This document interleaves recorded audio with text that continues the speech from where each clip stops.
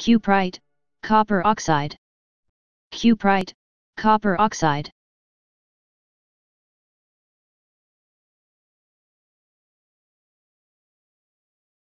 Please subscribe and thanks for watching.